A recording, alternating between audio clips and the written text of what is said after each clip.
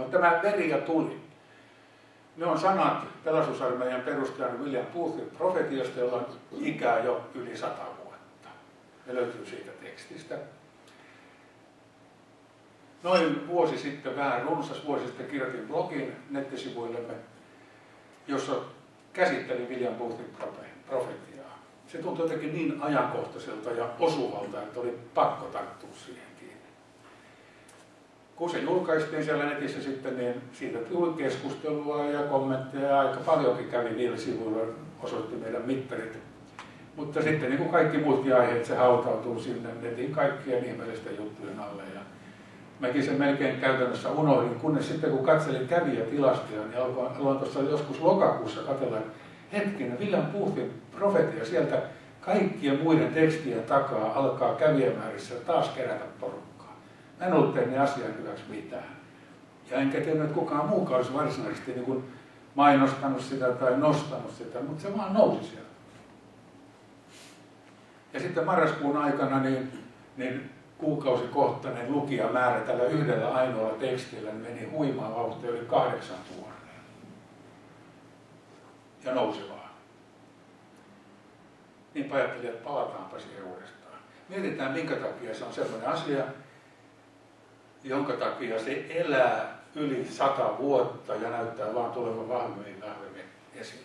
Mä laitoin tähän alkuun ensin pari slaidia ihan niin kuin perspektiivi pitää piirustuksessa on se pakopiste, mihin sitten kaikki nämä perspektiiviviivat koulussa opetetaan, ne sinne sitten huipentuu. Laitoin tähän yhden kuvan vuodelta 1900, eli ajalta, jolloin William Booth kirjoitti sen profetian.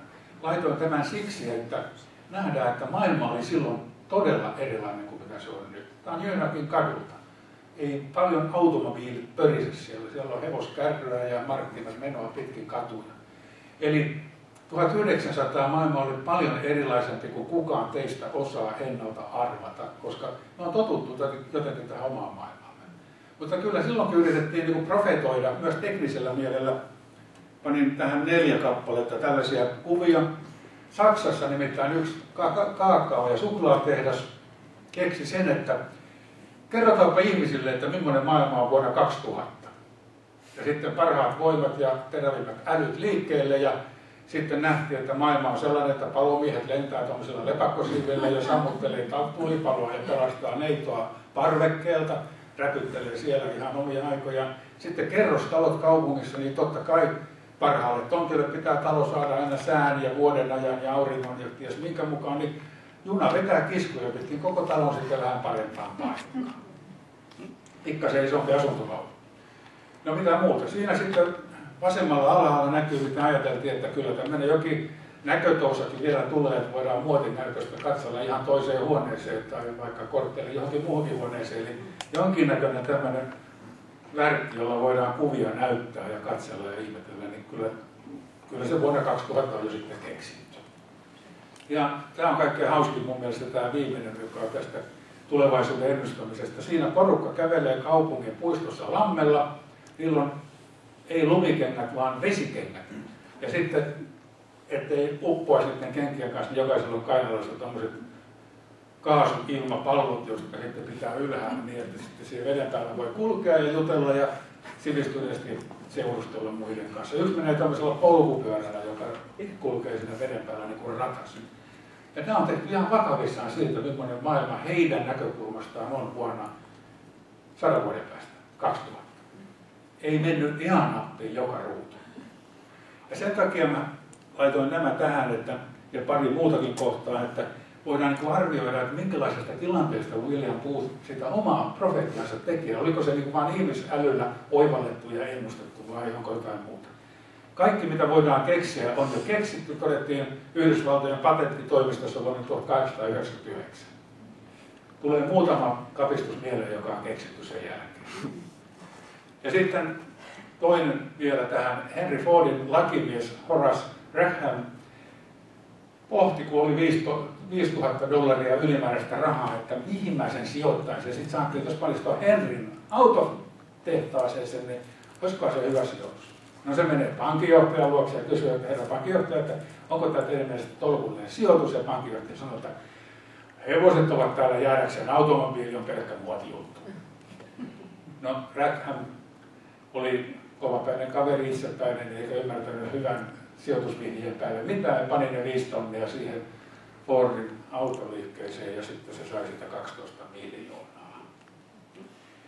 Tämä kertoo sitä, että viisaatkaan ihmiset ei osannut millään lailla ennakoida, miksi maailma menee. No entä sitten tämmöinen William Booth? Mikäs neropatti tämä on? Kuolemasta sata vuotta ja pari päälle. Hän oli metodisti pastori, joka palavasti saarnasi sanaa Jeesuksesta ja sitten myöhemmässä vaiheessa perusti pelastusarmeija ja oli sen ensimmäinen kenraali. Mutta vaikka on näin komea titteli kuin kenraali, niin metodisti pastori. Eli aika mielenkiintoista miettiä noiden äskeisten valossa, että kuinka hampaasti vielä se William mahtoi mennä, kun paljon viisaammat miehet oli noin paljon poskellaan ennustuksina. Tässä on ensimmäinen kuudesta kohdasta, jotka hänen ennustuksensa sisältää. Noina aikoina politiikka ei tunne eikä tunnusta Jumalaa. Koko läntisen maailman virallinen valtiopolitiikka on sellaista, että hallinnon eri tasoilla ei enää pelätä Jumalaa. Eurooppa hallitsee uusi poliittisten johtajien sukupolvi, joka ei pienessäkään määrässä ole päätöksissään ota huomioon Jumalaa. Ei tarvitse mennä historiassa kovin taaksepäin paljon, kun mennään johonkin Risto Rytiin ja Churchilliin ja moniin muihin, jotka kehottaa kansaa rukoilemaan ja puhuu Jumalasta ja tunnustaa olevansa kristittyjä ja vielä tunnustuvia kristittyjä. No entäs nykyinen sukupolvi, johtajasukupolvi Euroopassa tai missä päin maailmaa tahansa? Viime aikoina uutisissa on ollut se, että kun Ranskan presidentti käy vieraissa, niin kansa ei paheksu sitä, paheksu sitä, että se käy vieraissa, vaan sitä, että se Toope ajaa yöllä mopolla tai skootterilla pimeässä kaupungissa. Eihän kukaan järkevää ajaa, kun autoja kerran olemassa. Se kertoo jotain arvoista tai niiden puutteista ja muutoksesta, mitä on tapahtunut. Vastaavia esimerkkejä siitä, miten tämä ensimmäinen kohta on tällä hetkellä niin täysin totta, että eipä taida olla kuin Vatikaani, missä puhutaan Jumalaa silloin, kun on hallinnosta kysymys. Eli on yritetty siivota sivuun ja Eroa tehdään maailman ja uskovien välillä oikein jyrkkenevässä määrin koko ajan. Mammona on se hallitsija ja Jumala, joka haluaa, että uskonto on yhteiskunnan marginaalissa. Jumala on siivottu pois näkyvistä ja usko on yksityisasia. Ja sitten lainsäädäntö menee monissa maissa sillä tavalla eteenpäin, että tämä niin sanottu vihapuhe klausuuli, niin se alkaa panna meidät uskovat tiukille siinä, että voidaanko me kohta puhua synnistä enää ollenkaan ilman, että meillä on vihapuhe ja sakkotuomio tai van, vankilatuomio päällä. Eli silloin kun puhutaan perheestä, avioliitosta, seksuaalisuudesta, niin humanismi korvaa kristinuskon arvot. Ja uskokaa tai älkää, tämä ole mikään kiva ennustus, mutta William on siinä mielessä niin oikeassa, että tämä tulee menemään vähän entistä pahemmaksi. Toinen kohta hänen kuuden kohdan profetiassaan. Silloin julistetaan taivasta ilman helvettiä. Tulee päivä, jolloin tapahtuu suuri irtautuminen siitä, mitä Raamattu nimittää täyden totuuden evankeliumiksi. Silloin Raamatun profetian mukaisesti saarnataan korvasyyhyy. Kuulijat määräävät, mitä saarnatuolesta julistetaan. Puhukaa lempeitä, makeita sanoja, puhukaa taivaasta, jättäkää meidät vapaaksi ja jotta emme joutuisi rasittumaan, kun saarnaatte helvetistä. No, jos tässä nyt pantaisi äänestys pystyy, niin joku saattaisi ihan tulla nostaneeksi käden sen puolesta, että jotain tällaista oiretta on kyllä näkyvissä vähän tässä hengellisessä kentässä aika paljonkin. Mutta tähän kerrotaan jo raamatussa. Toinen Timotuksen kirja 4, 3 ja 4. Tulee näet aika, jolloin ihmiset eivät siedä kuulla tervettä oppia, vaan haalivat itselleen halunsa mukaisia opettajia, kuullakseen sitä, mitä kulloinkin mieli tekee. He tukkivat kormansa totuudelta ja kääntyvät kuuntelemaan takaa. Se, että tällaista tapahtuu, ei ole mikään hirveän uusi ilmiö, koska silloin kun Tuomas Messu perustettiin, niin siitä on 104. vuosi sata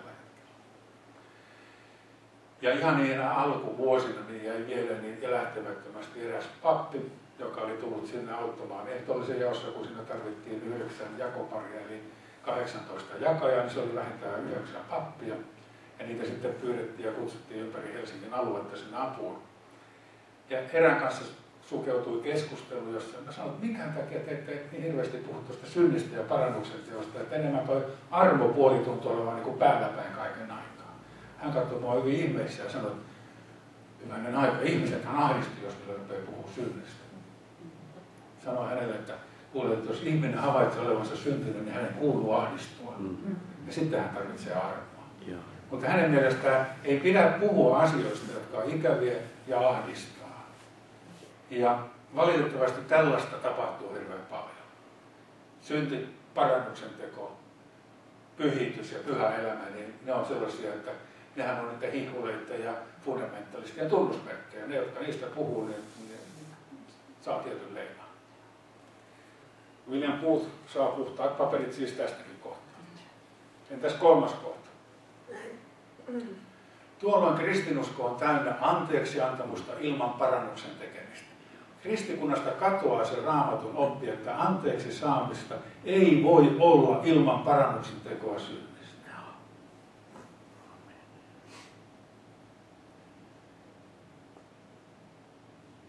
Se ei vetele sillä tavalla, että raamatun mukaan, että käydään ripillä, jos ollaan katoliseen ihan rippituolista, tai sitten muuten käydään tunnustelmassa syntiä ja sitten saadaan synninpäästö. Tai saa, ajatellaan, kun ollaan Jumalan palveluksessa sunnuntaina, että kun siinä on se yhteinen synnin tunnustus ja synninpäästö, Herran Jeesuksen Kristuksen palvelijana julistan sinulle kaikki sinun syntisi anteeksi, niin se kuittaa sitten kaiken sen, mikä tuli töpeksittyä edellisellä viikolla, joten puhtaalta pöydältä voi töpeksiä taas seuraavalla viikolla, koska sunnuntai tulee jälleen. Raamattu ei opeta tällaista. Sitä kutsutaan halvaksi arvoksi. Meidän Herramme Jeesuksen Kristuksen veri ei ole missään määrin halpaa. Se on niin kallisarvoinen veri, että sitä ei pitäisi tällaisella halventaa. Sen takia puhutaan siitä, että on parannuksen teko ja pyhityselämä. Kyllä se arvo ja taivaaseen kuuluu, pääseminen kuuluu siihen mukaan, mutta, mutta ei niin, että me emme muuta mitään, vaan me ajattelemme, että kyllä se kuittaantuu aina tällä armolla. Se hoitaa kaiken. Kaikki sinne anteeksi. Ja lisää. Tästä on raamatussa kovia sanoja ihan sieltä löytyy kohtia, jossa Paavali kirjoittaa siitä, että ei tarkoitus ole menetellä tällä tavalla, mutta se ei nyt aina mene näköjään läpi. Jos me ajatellaan, että tule sellaisena kuin olet, niin me ajatellaan ihan oikein. Jokainen saa tulla seurakuntaan ja Jumalan luo ja Jeesuksen luo just sellaisena kuin on. Ei ole mitään kynnystä, jota me voitaisiin asettaa niin, että sen pitää ensin pukeutua tietyllä tavalla, tai sitten sen täytyy laulaa oikeassa sävellajissa, tai se ei saa käyttää korvarenkaita, tai sitten sitä ei saa huulipunaa olla. Kaikkia näitähän on ollut historia täynnä, millä on niin pantu kynnystä siihen, että kuka kelpaa seurakuntaan. Ne on kaikki perkeleistä ne kynnykset. Jokainen saa tulla Jeesuksen luo. Hän ei kääntänyt pois ketään, joka tuli hänen luoksensa. Yhtään kohtaa, että löydän raamatusta, jos Jeesus sanoi, että hetkinen, kyllä joku raja tässä sentään, että pois. Ei, hän otti jokaisen vastaan. Mutta jos me sanotaan, että ja jää vapaasti sellaiseksi kuin olet, niin sitten me ollaan harrassa pahasti. Jeesus sanoi, että mene äläkä enää syntiä. Hän paransi, auttoi ja vei elämässä eteenpäin ja sanoi, että älä tee enää syntiä. Hän ei jättänyt ihmistä siihen lokaan tai likaan tai rikkomukseen, lankemukseen, jonka keskeltä hän oli tullut Jeesuksen luo. Eli jos me ajatellaan, että puhe synnystä ja parannuksen teosta ahdistaa ihmisiä, niin se on ihan hieno juttu, että ahdistaa. Ennen puhuttiin siitä, että ihminen havaitsi oman syntisen tilansa ja hän itki katkerasti. Pietari itki katkerasti, kun oli kieltänyt mestarinsa. Ja, ja, ja syntinen nainen hänen jalkojensa juurissa itki ja pesi kyynelillä Jeesuksen jalkoja ja kuivasi niitä hiuksillaan. Minkä ihmeen takia meidän tämän ajan ihmisten pitäisi elää sellaista hengellistä elämää, jossa omat synnit ei itketä, ei harmita eikä häiritse millään lailla.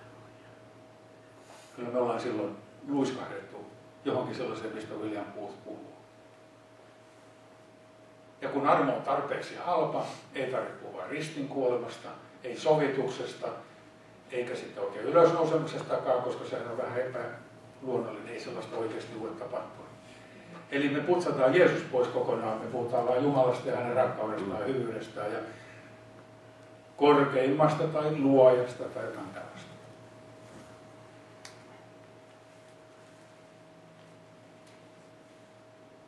Helsingissä muutama vuosi sitten vihittiin käyttöön tämmöinen valtavan iso, maailman suurin kylpytynnyri tai kirnu tai mikä se on. Se on siinä Narikkatorin reunassa tämmöinen hiljaisuuden kappeli. Se ulkomuoto on arkkitehtonisesti varmaan semmoinen, että Guggenheimin museo tulee lyömään sen laudelta, mutta tuskin paljon muuta. Mutta se muoto ei ole mua vaan se, että kun se vihittiin käyttöön ja siellä oli piispa paikalla ja siellä oli valtava määrä pappeja, kaikilla oli omat roolit ja luvut ja tekstit ja puheet ja laulut ja värssyt, niin koko siinä seremoniassa joitain kirjasta luettuja sellaisia, jotka on kirjoitettu jo kymmeniä ja ehkä satojakin vuosia sitten, missään niin vapaassa rukouksessa puteessa ei mainittu sanaa Jeesus. Ei kertaakaan. Puhuttiin Jumalasta, puhuttiin rakkaudesta, puhuttiin itsensä kohtaamisesta siellä kappelissa.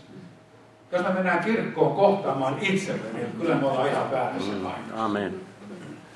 Me mennään kohtaamaan Jeesusta, joka antaa synnit anteeksi ja on lunastanut ja pelastanut meidät. Ei me mennä sinne tonkimaan omaa sisintä, etsitään sieltä jotain ylempää ja hienoista, voidaan vähän aikaa siinä napostella ja sitten taas soppailemaan Stockmannia. Ei. Mutta se seremonia oli siis se oli sillä tavalla kammottava, että se olisi voinut olla melkein minkä uskonnon seremonia tahansa. Kaikilla on Jumala, kaikki uskovat, että Jumala on valtavan suuri, useimmat uskovat, että se on kuitenkin loppujen lopuksi hyvä, osa ajattelee, että se ei koskaan sekoa tämän maailman asioihin, kun se on vain jotain tehnyt, niin sitten se katsoo, katsoo tässä, miten niille käy. Osa on sitä mieltä, että kyllä se vähän välittää ja saattaa puuttua asioihin. Mutta kuitenkin niin kaikissa muissa uskonnoissa Jumala on jotenkin lepytettävä ja ansaittava se hänen rakkautensa, että mä teen jotain tai jätän tekemättä niin, että se tykkää siitä. Meillä on kristinuskossa se, että me ei koskaan pystytä Jumalaa miellyttämään omilla teoilla tai tekemättä jättämisellä vaikka me yritetään elää siivosti, niin me ollaan syntisiä ja tarvitaan Jeesusta ja ne armoa. Ja sitten käsikirjoissa ja kirkkolaissa ja kaikissa paikoissa lukee, että seurakunnan pää on Jeesus Kristus ja hän on, hän on tuota kaiken keskipiste, alfa ja omega. Ja sitten kun kappeli viittaa, niin ei muisteta koko Jeesusta mainita kertaa. Sama näytti vaivaavan vähän joitain jouluterveyksiä. Jouluradio soi sitä kuunneltiin, kun mökillä oltiin ahkerasti. Ja siellä on tietty määrä levyjä jotka, tai lauluja, jotka pyörähtää, ja sitten aina välissä on arkkipisman terveys. No eipä tullut syntymäpäivän juhlatervehdyksessä mainittua syntymäpäivän sankaria oikein noin nimeltä. Mm. Eli me kadotetaan kaikki, jos me kadotetaan Jeesus. Me, me kadotetaan kaikki voidaan kaikki mennä istua automaan aidalla ajatella, että kohta tämä loppuu. 1900-luvun alun William Boothin aikalaiset ranskalaiset hienot filosofit sanoivat, että elämän, ihmisen elämä on lyhyt, hämärä kahden pimeän välissä. Ei ole mitään muuta. Tyhjästä tullaan, tyhjiin mennään. Eikä sillä välillä ole mitään merkitystä, kun sehän on vain pieni rahtuinen hämärä. Se on se maailma, joka on maailma ilman Jeesusta. Neljäs kohta on näin lyhyt. Päivinä ennen Jeesuksen tuloa monet ovat täynnä pelastusiloa, vaikka eivät ole uudesti syntyneet ylhäältä. Se onkin jo vähän teologisesti ihan tämmöinen mielenkiintoinen lause. Miten voi olla pelastusiloa, jos ei ole uudesti syntynyt, eli ei löytänyt Jeesusta Kristusta vapahtajakseen, jos ei ole löytänyt omaa asemaansa suhteessa Jumalaan, jos ei ole löytänyt sitä totuutta, että mä oon syntinen ja hukassa ilman Jeesusta ja hänen sovituskuolemansa ja arvoa. Miten voi olla pelastus No sillä, että sanotaan, kyllä Jumala tavallaan tai toisella koko porukan kotiin hoitaa. Me vaan tiedetään miten, mutta kun hän on kerran niin suuri rakkaus, niin ei hän nyt voi panna ketään mihinkään helvettiin, jos semmoista nyt yleensä on edes olemassa. Kaiken vaan tälle kaikille käy hyvin, ei mitään hätää, no hätä.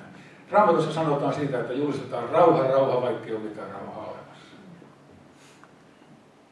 Tämä on sellainen puudutusaine, että tämä se vasta tappavaa. Ajatellaan, että kukin tulee uskollaan autuaksi. En minä usko niin kuin kirkko uskoo, mutta uskon minä kuitenkin Jumalaa. Sehän on Kalluppien ihan tämmöinen vakiojuttu, kun tutkimuskeskus tekee niin. Tai sitten, että kaikilla uskonnoilla on sama Jumala, että se on kuin korkea vuori, yksi kiipeä yhtä sivua ja toinen toista sivua ja kolmas kolmatta ja niin edelleen, mutta kaikki räpistelee kohti sitä yhtä ja samaa Jumalaa siellä ylhäällä. Tai sitten me voidaan jokainen tuunata Jumala, ja moni tuunaakin niin, että, että jos mulla on joku helmasynti, mistä mä oikein millään pääse eroon, niin voinhan mä aina tuunata itselleni semmoisen Jumalan, jotka on jotenkin vähän tällainen vilkaisee läpi siinä, että kyllä se muuten niin kovasti yrittää, että jatkakoon nyt tota, kun ei irtikään näytä pääse.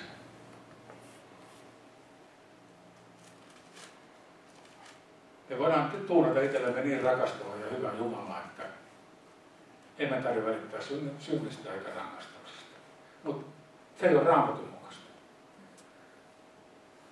Ei kukaan muu voi pelastaa kuin hän. Mitään muuta nimeä, joka meidät pelastaisi, ei ole ihmisille ennen ihmisille annettu koko taivaan kannen alla. Ei kukaan muu voi pelastaa kuin hän. Ei tarvitse varmaan tälle joukolle suomentaa kukaan hän. On jo sen verran monia kertaa mainittu. Tähän on kauhean lause sillä tavalla, että kun nykyään ajatellaan, että pitää olla suvaitsevaisia ja jotenkin sellaisia joviaille ja kaikkia muita kohtaa, niin jos mennään sanomaan jollekin muun uskonnon edustajalle, että ei muuten kukaan muu voi pelastaa kuin Jeesus, niin hetken päästä se on vihapuhetta. Ei vielä. Mutta siitä on helppo sanoa, että me niin kuin sitä kautta, että me korotetaan itsemme paremmiksi, kun meillä on parempi uskonto, ja tarkoitetaan, että no toiset ovat huonompia. Eihän sellaista saa tehdä. Ja ei. Päiväsakkoja päälle ja jos ei tokene, niin pannaan kalterintaan. Siis tähän suuntaan maailma menee, tätä menoa uskokaa tai älkää. Ja vielä viides kohta. Noin aikoina tulee olemaan paljon uskontoa ilman pyhää henkeä.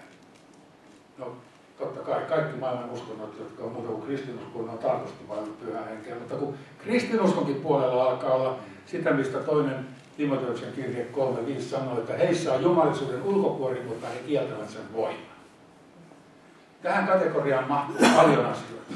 Tähän mahtuu se, että ruvetaan viisastelemaan ihmisviisauden varassa, että ei sen itsestä syntyminen nyt niin kauhean tärkeä juttu on uskon tunnustuksessa se, että syntyy marjasta, niin se on vähän tämmöinen kaunis runo ja kielikuva, mutta ei se tarvitse ihan aikuisten oikeasti uskoa.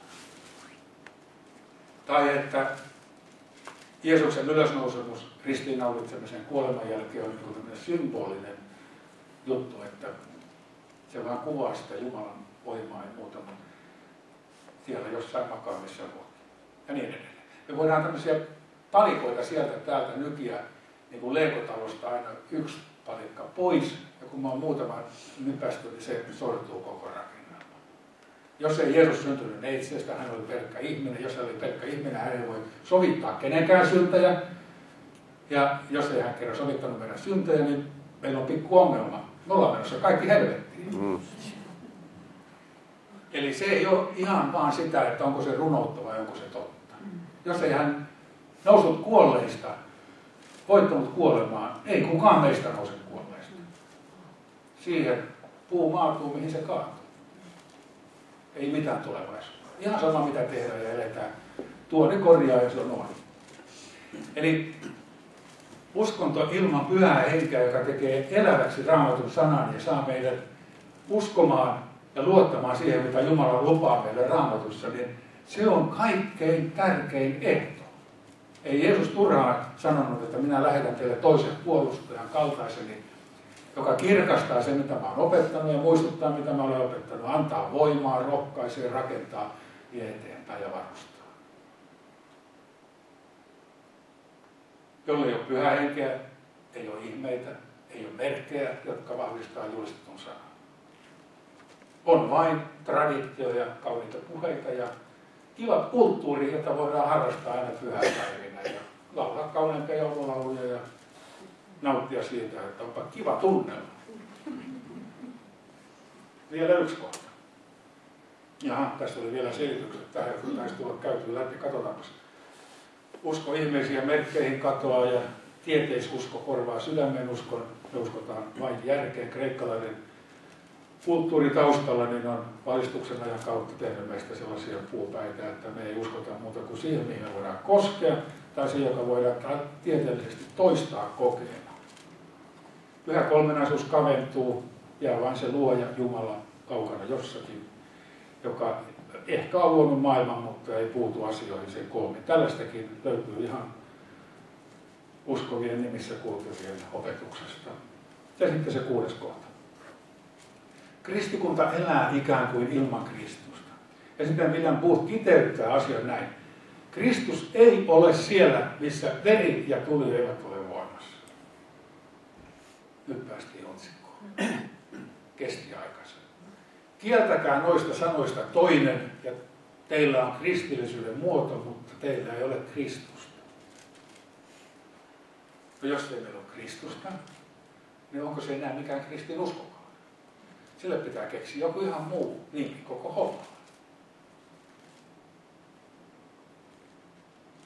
Joku on jo sanonut, että uuden uskonnon nimi on Krislama, joka on yhdistelmä kristinuskosta ja islamista. Siellähän Kristus on vain yksi profeetta, merkittävä, mutta vain profeetta, ei mikään sen tien sovittaja ja Jumala. Joka tapauksessa sellainen, jossa me kielletään veri ja tuli, Jeesuksen sovitusveri ja pyhä henki, niin se on, se on jotain muuta kuin kristinusko. Se on jotain muuta kuin pelastava usko. Se on jotain muuta kuin se, mitä Raamattu meille opettaa. Ja tässä ei olla siinä, kun voidaan ajatella näin kristittyjen ykseyden viikolla, että, että joku opettaa kasteesta vähän eri lailla ja toinen toisella lailla, ja joku sanoo ehtoollisesti sitä, että ne muuttuu ihan oikeasti tai ei muutu tai kuvaa ja niin edelleen. Ei ne ole pelastuskysymyksiä. Raamattu on täynnä sellaisia tulkinnallisia asioita, jotka on sen ytimen ulkopuolella ja kehällä. Mutta nämä kaksi asiaa, veri ja tuli, niin ne on ytimessä. Ellei meillä ole Jeesusta Kristusta, hänen sovitusvertaan, niin meillä ei ole kristinuskoa. Se on ihan sitten sama, onko meidät kastettu pienenä vai suurena, jalat ylöspäin vai alaspäin, sillä on mitään merkitystä sen jälkeen, jos tärkeää. Ellei meillä ole eläväksi tekevää pyhää henkeä, niin ei meillä ole kyllä paljon mitään muuta. Eli sillä tavalla me ollaan tässä asiassa semmoisella vedenjakajalla, joka ei mene seurakuntien ja kirkokuntien rajojen mukaan, vaan niiden läpi. Siellä sisällä on sekä että. Ja jokainen meistä joutuu valitsemaan puolensa toisella tai toisella puolella sitä linjaa.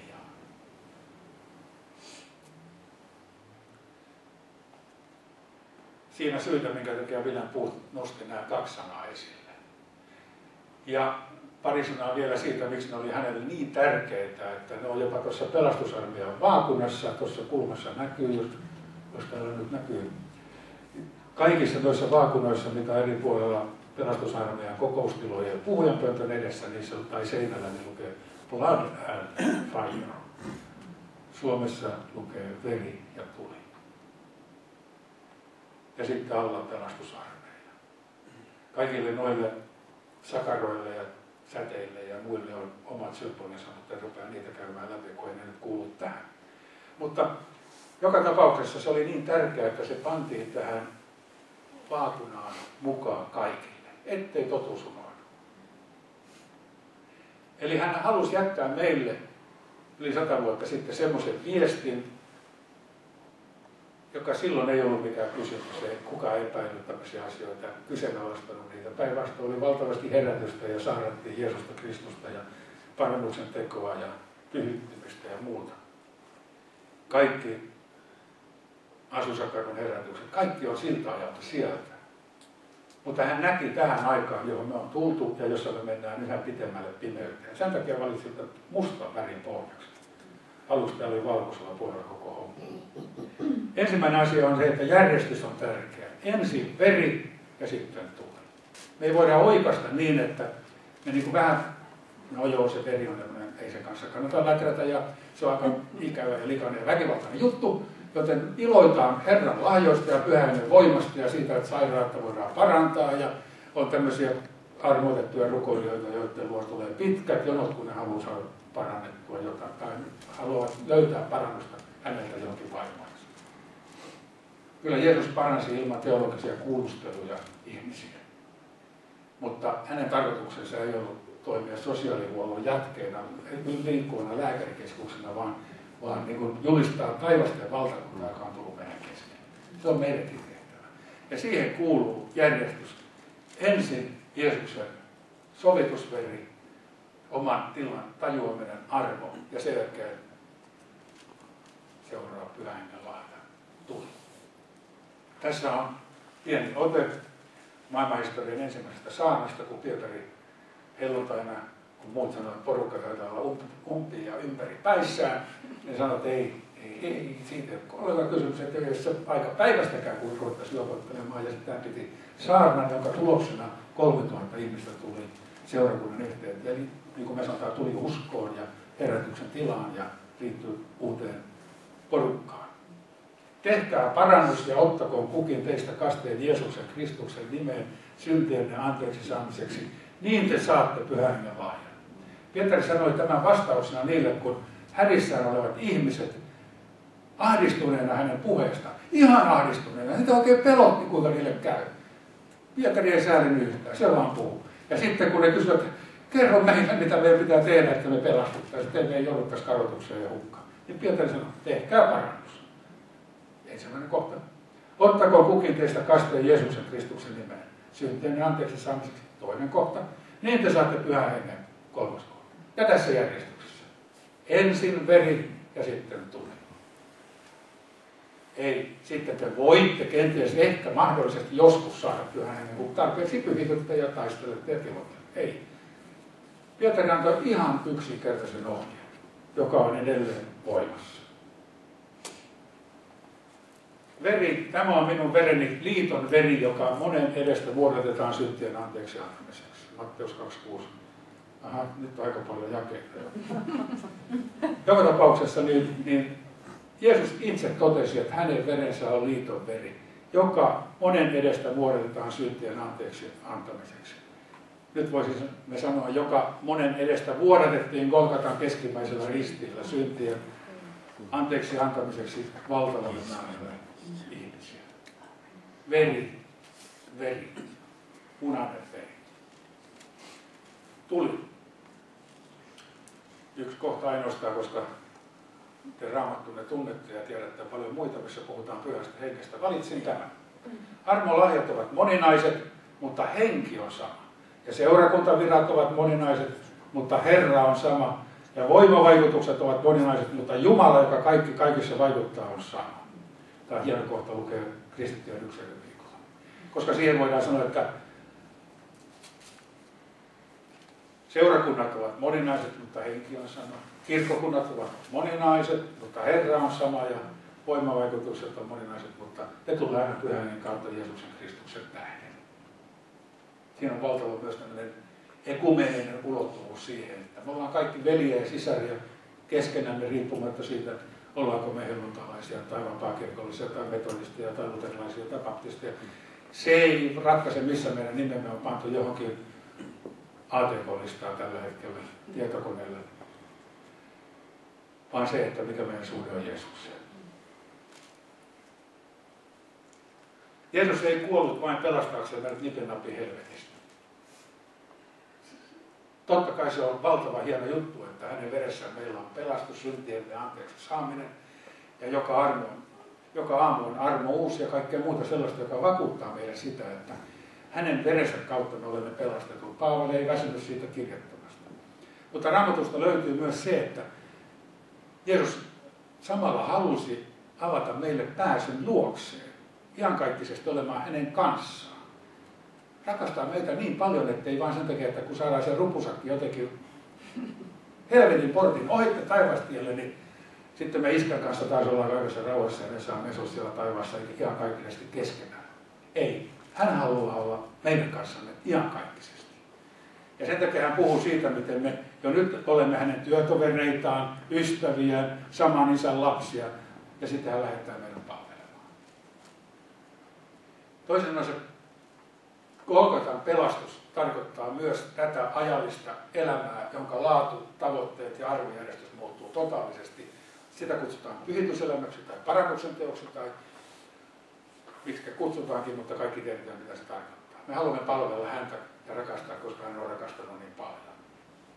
Eli hän haluaa, että me lopetetaan itsellemme eläminen ja omien himojemme ja lihamme ja halujemme mukaan eläminen ja valintojen tekeminen sen mukaan, että mikä meistä tuntuu kulloinkin kivalta, vaan me kysytään, että Jeesus, mitä sä haluaisit, että me tehdään? Mihin sä haluat lähteä? Mitä sä haluat sanoa tälle lähimmäiselle? Ja olisiko nyt se hetki, että me kysyä, että haluan, että me rukoilen sun puolesta, koska hän on selvästi sairasta ja ahdistunut tai jotenkin sen tarpeessa. Jeesus ei kysele meidän taitoja, että onko nyt niin kuin akateeminen loppututkinto ja olisiko jotain muutakin opettajaa suoritettu ja mitä toi johtamiskoulutus ja niin edelleen, vaan hän, hän, hän katsoo, mikä meidän sydän on. Mikä meidän asenteemme on häneen ja hänen kauttaan isään ja hänen kauttaan lähimmäisiin. Jeesus ei lajitellut ihmisiä niin, että kaikki suurimmat änkyrät ja ikävimmät tyypit pannaan tonne, ja sitten hän kuolee näiden puolesta, jotka on vähän kumminkin parempaa väkeä, vaan kaikkien puolesta. Hän ei kääntänyt ketään pois eläessään, kulkiessaan, kävellessään, eikä ristillä. Eli Jeesus ei myöskään halua elämästämme 50 prosenttia tai sunnuntai-prosenttia tai jotain muuta, vaan 100 prosenttia, koska hän antoi 100 prosenttia. Hän antoi kaiken. Sen takia veri ja tuli on tärkeää, että me ymmärretään niiden merkitys, koska silloin meidän oma mittakaava elämämme ja tavoitteemme suhteen menee oikein.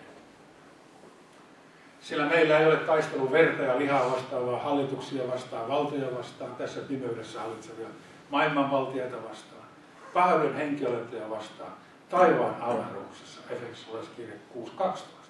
No mitäs tämä on? Tässä on tuota kommentaari. Sehän on, tarkoittaa raamatun selitysteos. Tässähän se on. Tässä on ne kaikki kuusi kohtaa perättäin. Mitä vastaan me taistellaan? Me vasta taistellaan niitä pimeyden voimia vastaan rukouksella ja palvonnalla ja julistuksella ja palvelemalla toisiamme ja lähimmäisiämme ja rukoilemalla ihmisten puolesta. Me taistellaan, koska yhteiskunta ilman Jumalaa on maanpäällinen Taivas ilman helvettiä on korvasiivin julistamista ja, ja, ja vie kadotukseen. Koska anteeksiantamus ilman parannuksen tekoa on feikki eikä se toimi. Pelastus ilman uudesta syntymistä on valtava väärinkäsitys ja turmiollinen polku, joka vie kadotukseen. Kristinusko ilman pyhää ei ole kristinuskoa ollenkaan, ja kristinusko ilman Jeesusta Kristusta on kauhistus. Siinä on ne tämän ajan pimeyden henkivoimat, kaikki niin kuin William Boothin piirtäminen, niin joita vastaan me taistellaan. Tarkoitus ei ole, että me ruvetaan voivottelemaan. Kyllä maailma on sitten paha. Ja käydään tämä uudestaan läpi ja mietitään, että mitä kaikkea ilkeyttä vielä tästä maailmasta löytyy. Ei, vaan tämä on se, mihin tarvitaan meidän rukousta ja taistelua Jeesuksen rinnalla ja hänen seurassaan kulkemista ja oman elämän siivoamista ja parannuksen tekoa ja pyhityselämää, eli kilvoittelua, niin kuin jotkut ortodoksit käyttää tämmöistä sanaa. Mutta onneksi veri ja tuli on voittamattomat asemme tässä taistelussa. Siinä ne on. Ei meillä ole mitään hätää. Ei pidä koskaan luopua näistä aseista, eikä tiedosta siitä, että vaikka me ollaan heikkoja ja vajavaisia ja muuta, niin Jumala haluaa käyttää Jeesuksen tähden meitä just tämmöisenä. Ja meillä on tehtävä, meillä on kutsumus, ja me ollaan voittavalla puolella ja Jeesus kulkee kanssamme joka hetki. Rukoillaan yhdessä. Kastaillaan Isä, Pyhä Jumala, kiitos ja ylistys siitä, että annoit poikasi Jeesuksen Kristuksen sovittamaan meidän syntimme ja kutsumaan meidät taivaan kotiin. Herra, sä oot meidät monenlaisilta harhapolulta ja lempeästi taluttanut takaisin taivasta. Me kiitetään ja ylistetään sinua siitä, että Jeesuksen nimessä ja veressä synnit on saatu anteeksi. Ja me saadaan tehdä parannusta ja lähteä vaeltamaan niissä askelissa, jotka sä oot ennalta valmistanut itse kullekin meistä. Ne on palvelun ja kiitoksen, palvonnan ja ylistyksen askelia. Ne on askelia, joissa me haluamme tuoda taivasten valtakunnan tänne ihmisten keskelle. Jossa meidät on kutsuttu antamaan syntejä anteeksi, julistamaan Jeesusta Kristusta ja opettamaan kaiken sen, mitä Pyhä Henki meille antaa opetettavaksi. Ja myös toimimaan silloin, kun hän meidät varustaa armolahjoilla niin, että sairaat paranee ja rammat nousevat kävelemään ja masentuneet tulee lopetetuksi. Ja tätäkin kautta julistettu sana tulee vahvistetuksi ihmeillä ja merkeillä. Jää, jää herra siunaamaan tätä UKK ja sitä työtä, mitä täällä tehdään. Kaikki, jotka täällä antaa itsensä aikansa sinun palveluksesi. Kaikkia niitä ihmisiä, jotka tänne tulee etsimään elävää vettä, vapahtajaa Jeesusta Kristusta ja yhteyttä yhä lähemmäksi häntä. Me Herra kiitetään tästä illasta toinen toisestamme ja iloitaan siitä, että meidän nimemme on elämän kirjassa ja sinun veresi, sinun lähettämäsi pyhä henki on synnyttänyt meissä sen uskon ja luottamuksen, että sen varassa me voidaan rohkeasti vaeltaa ja luottaa siihen, että sä et koskaan meitä jätä, etkä hylkää, olipa elämäntilanteella ihan millaisia tahansa. Anna meille saarna, pysytään kiinni sinussa ja sun rakkaudessa. Aamen.